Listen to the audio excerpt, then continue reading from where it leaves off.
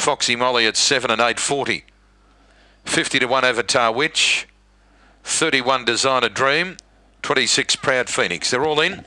Set to go. Green light on. Track cleared. They're ready now. Racing.